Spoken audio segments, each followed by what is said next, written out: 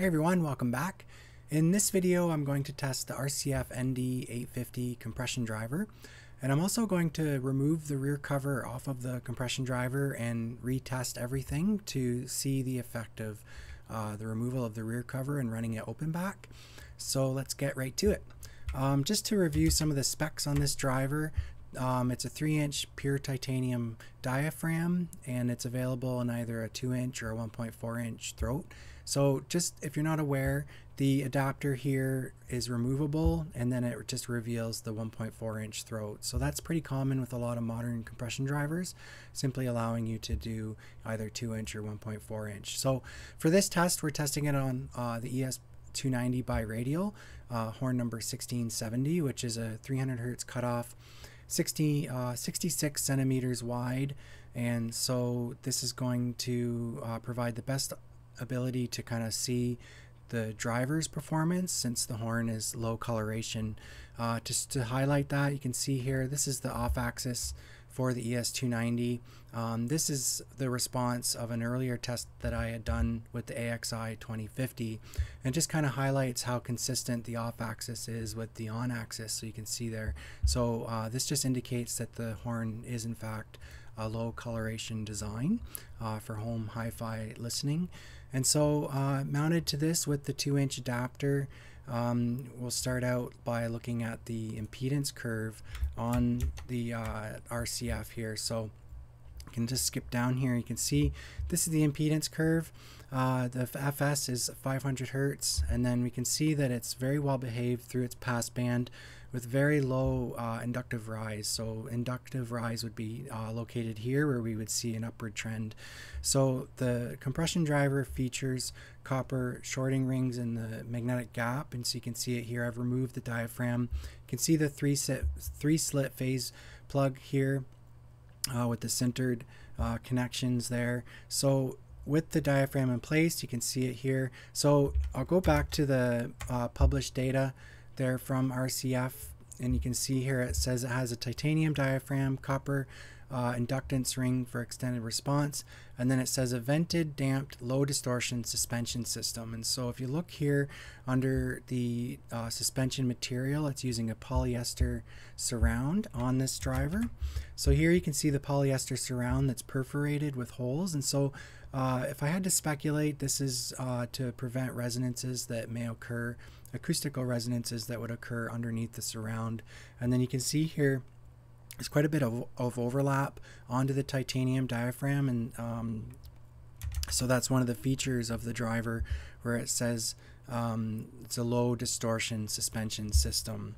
Okay so uh, really nice design uh, with some nice features there. So this is a three inch compression driver titanium and so with this size format you're going to get some breakup in the upper treble and so we can see here that we have a mild breakup based on the impedance sweep there starting at 8 kilohertz and then things get worse as we move up. So looking at the frequency response here we can see uh, that things are very linear through its passband. There's no kind of high Q peaks that would indicate some sort of a resonance so it's very linear and then we get into the breakup region of the driver. So so far uh, the driver is looking really really good. Um, so looking at the burst decay, Burst decay is extremely clean as well as the spectral decay. Uh, we don't see any anomalies whatsoever until we get into the breakup of the driver. So looking at distortion, I tested harmonic at 85 and 95 dB. And so we can see here that second harmonic is at 65 dB. Uh, if we move up into the 95 test signal, uh, we can see that the H2 is at minus 55.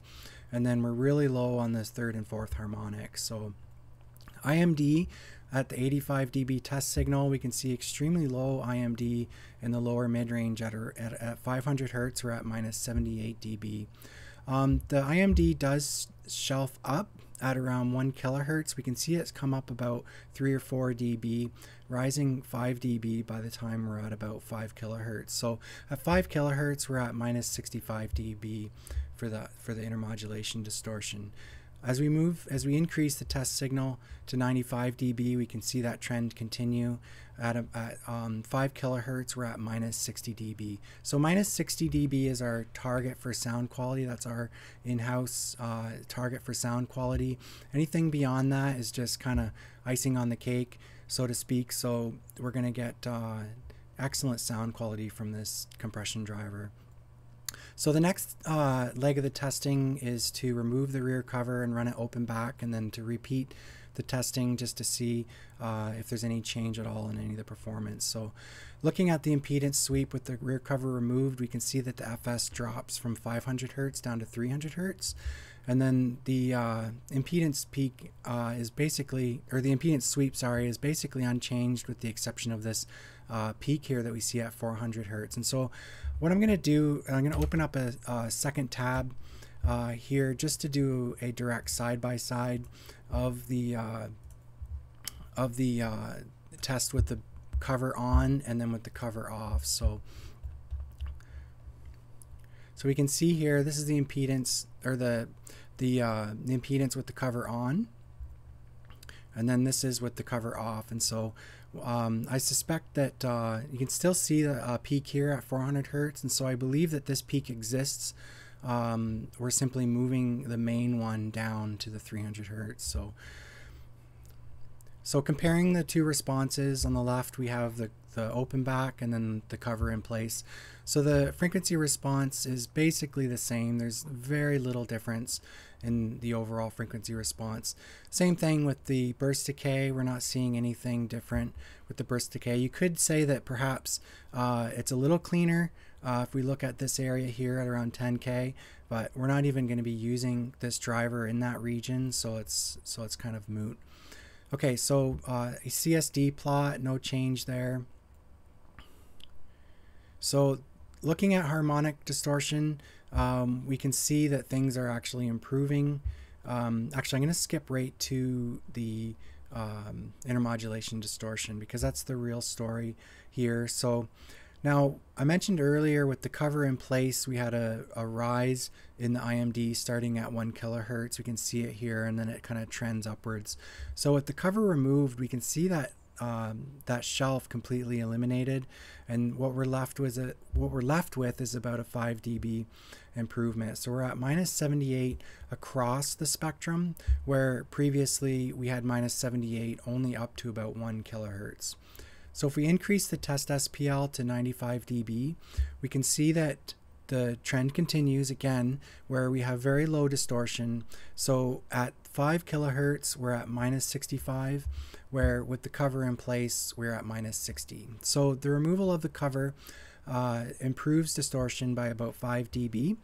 And so I should note as well that with uh, some of my testing that I've done recently, if you increase the test SPL beyond 95 dB, so increasing it to 105 or above and this would be for pro audio sound reinforcement applications.